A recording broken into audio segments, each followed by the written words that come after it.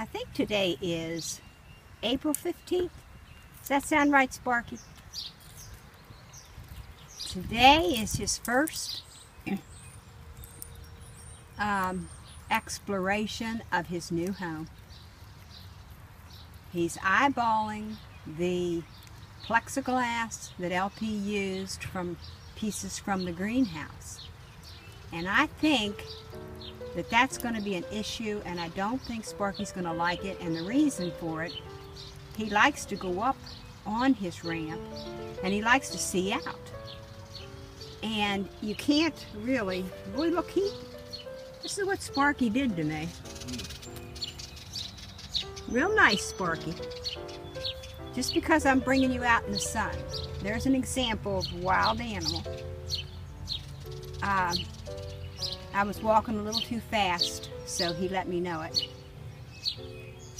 So, he's undecided right now because he knows that he can't see through that.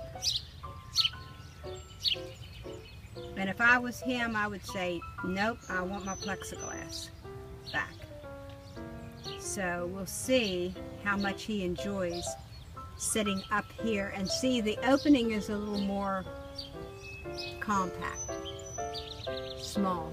So we'll see if he goes in and explores. There's Eco Earth. I'll have to open this up.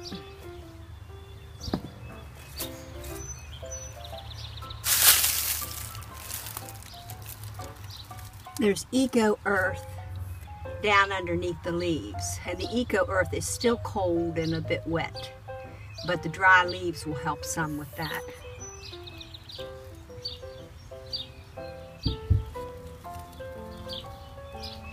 What do you think, Sparky?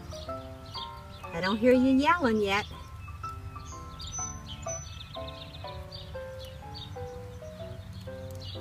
And underneath this is this water dish in the shade added more leaves and his hostas are growing like weeds. All is good, guys. We come out to check on Sparky, and he's up in his lean-to in his favorite spot. So I don't know if he did a tour of his uh, high rise or not. I call it his lean-to. Uh, but I would say he checked it out.